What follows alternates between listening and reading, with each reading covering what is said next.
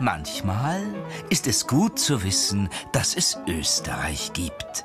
So als Plan B, als Ort einer zweiten Chance. Wenn man zum Beispiel ein nicht so gutes Abitur hat. Die nehmen einen direkt auf, sehr entspannt, äh, ist nicht so anstrengend wie in Deutschland, wo man irgendeinen 1-Schnitt braucht, irgendwie am Abitur. Ich sehe mich so ein bisschen als NC-Flüchtling. Wer es in Deutschland nicht schafft, kann es in Österreich versuchen. Vor allem für Medizinstudenten ist Österreich ein Plan B-Land. Fast 2000 Deutsche studieren hier Medizin. Es soll ja ein freies Geben und Nehmen sein und man möchte ja hier genauso studieren wie alle Studenten auch. Nur dem Bildungsminister geht dieses freie Geben von Studienplätzen neuerdings zu weit. Wenn dann äh, Ärztinnen und Ärzte nach dem Studium in ein anderes Land gehen, um dort zu arbeiten, dann denke ich, müsste es zumindest so sein, dass diese Länder entsprechend die Kosten für das Studium ersetzen.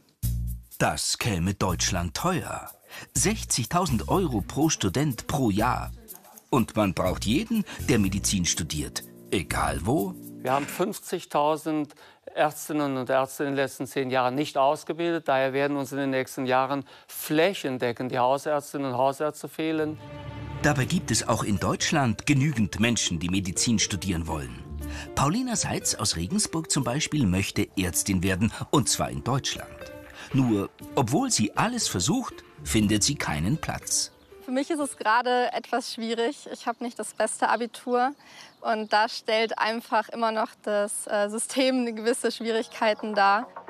Denn weil es so wenig Plätze gibt, müssen Anwärter wie Paulina durch ein schweres Auswahlverfahren.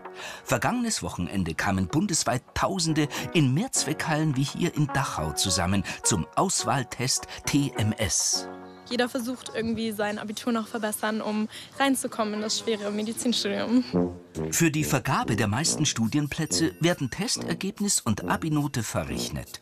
Kompliziert, aber so wollen die Unis sicher gehen, dass diejenigen, die einen wertvollen Platz bekommen, auch wirklich bis zum Abschluss dabei bleiben. Das ist sozusagen der, der, äh, das Grundprinzip eines, eines Bewerberüberhangs letztlich. Das, äh, das ist natürlich klar. Und man muss auch natürlich äh, die Plätze entsprechend ähm, verteilen. Gut, dass es da den Plan B gibt. Österreich hat zwar auch einen Zulassungstest, aber die Abi-Note ist egal. Auch Deutsche ohne gute Noten sind willkommen. Ja, ich würde halt sagen, der Preisenzipfel ist uns immer noch großteils. Aber sonst auch schon recht angenehm. Also ich habe sogar Freunde, witzigerweise. Man kann ihnen nichts anlasten. Sie sind halt deutsch. Ken und Tobias hätten in Deutschland kaum eine Chance gehabt. Den österreichischen Test haben sie bestanden. Jetzt studieren sie eben Medizin in Wien und nicht in ihrer Heimat München. Also wenn ich einen Studienplatz an der LMU oder TU bekommen hätte, wäre ich wahrscheinlich dort geblieben, ja. Ich hätte es mir auf jeden Fall auch vorstellen können. Ich kann mir auch immer noch vorstellen, nach München zu gehen, wenn ich jetzt hier keine entsprechende Stelle finde. Ähm, aber ja, ich bin auch sehr zufrieden, wie es gelaufen ist. Ja. Inzwischen würden beide gerne bleiben. Nur mehr als drei Viertel der Medizinstudenten gehen nach dem Studium zurück nach Deutschland. Österreich sagt, es bezahlt für unseren Ärztemangel und schafft sich dabei selbst einen. Wenn der Großteil der Personen, die das Medizinstudium in Österreich absolvieren, auch in Österreich als Ärztinnen und Ärzte arbeiten, dann hat Österreich keinen Ärztemangel. Die EU-Kommission, sagt er, wolle das Thema nun aufnehmen und prüfen. Österreich will nicht mehr Plan B-Land sein. Schon gar nicht, wenn sich Deutschland damit Geld spart. Der große Nachbar solle endlich selber genug Studienplätze schaffen. Zuständig dafür wären die Länder. Bayern findet, man selbst habe schon genug gemacht. Kein Land tut für die Medizinerausbildung so viel wie der Freistaat. 2700 zusätzliche Studienplätze, Spitzenmedizin im ganzen Land. Das ist der bayerische Ansatz. Und wenn insgesamt noch Plätze fehlen, dann müsse eben der Bund helfen. Quasi Plan C. Der Bund sagt, ein Regelungskonzept zu diesem wichtigen Thema liegt vor. Die weiteren Beratungen bleiben abzuwarten.